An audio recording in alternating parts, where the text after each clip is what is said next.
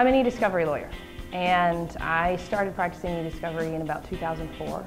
The thing that I bring to e-discovery um, and for my clients is that I have both the experience as a litigator and I also understand the technology that's important uh, for ESI and to deal with issues related to um, electronic discovery.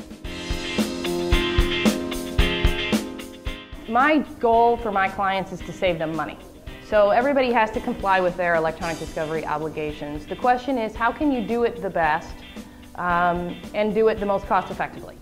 So that's my job, is to help them make the best, most cost-effective decisions in meeting their obligations in e-discovery. And um, it's fun because it's a lot of technology, so I really enjoy it.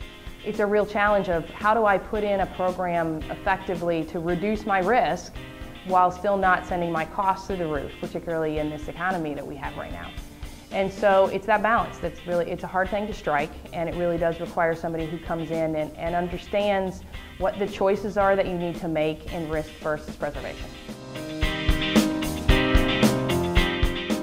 The reason that I decided to start my own firm was really because as I met with clients, I saw there was a need for clients to have somebody to come in and help them understand from a legal perspective, with legal advice, what they needed to do in their organization to best be able to achieve the balance of risk versus cost and e-discovery on a matter-by-matter -matter basis.